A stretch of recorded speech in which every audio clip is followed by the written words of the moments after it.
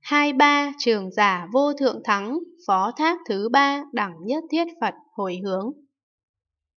Bấy giờ thiện tài đồng tử, khởi tâm đại từ khắp cùng, tâm đại bi thấm nhuần, liên tục không dứt, phước đức trí huệ hai thứ tra nghiêm, xả đìa tất cả phiền não trần cấu, chứng được pháp bình đẳng, tâm không cao thấp, nhổ gai bất thiện, diệt tất cả chướng, kiên cố tinh tấn, dùng làm hào tường, tam muội thâm sâu làm vườn tược, dùng trí huệ ánh sáng mặt trời phá tối vô minh, dùng gió phương tiện nở hoa trí huệ, dùng nguyện vô ngại đẩy khắp pháp giới, tâm thường hiện nhập vào thành nhất thiết trí. Thiện tài cầu Bồ Tát đạo như vậy, từ từ đi về hướng Nam đến thành khả lạc đó.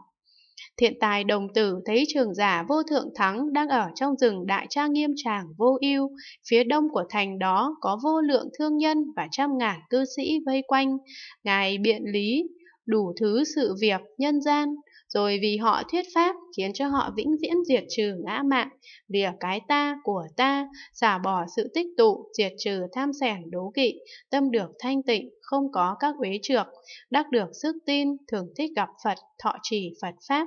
sinh Bồ Tát lực, khởi Bồ Tát hạnh, và Bồ Tát tam muội đắc được Bồ Tát trí huệ, trụ Bồ Tát chánh niệm, tăng trưởng Bồ Tát lạc dục.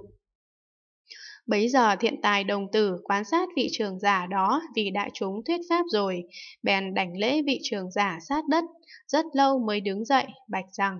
Đức Thánh, con là thiện tài, con là thiện tài, con chuyên tìm cầu Bồ Tát hạnh. Bồ Tát làm thế nào học Bồ Tát hạnh? Bồ Tát làm thế nào tu Bồ Tát đạo?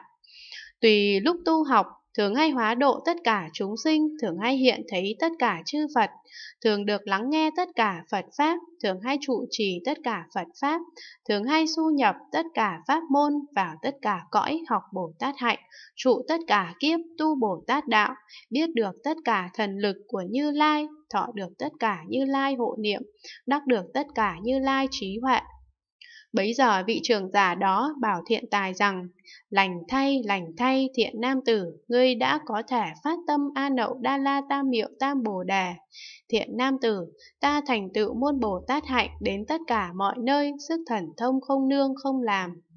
Thiện nam tử, thế nào là môn Bồ Tát hạnh đến tất cả mọi nơi? Thiện nam tử, ta ở trong ba ngàn đại thiên thế giới này, tất cả các chúng sinh trong dục giới, đó là tất cả trời tam thập tam, tất cả trời tu dạ ma, tất cả trời đâu xuất đà, tất cả trời thiện biến hóa, tất cả trời thao hóa tự tại, tất cả thiên ma và tất cả cõi trời khác rồng dạ xoa, la sát, kiêu bàn trà, cản thát bà, a tu la, ca lâu la, khẩn na la, ma hầu la già. Người chẳng phải người, thôn xóm thành ấp, tất cả chỗ ở, trong tất cả chúng sinh, ta đều vì họ thuyết pháp.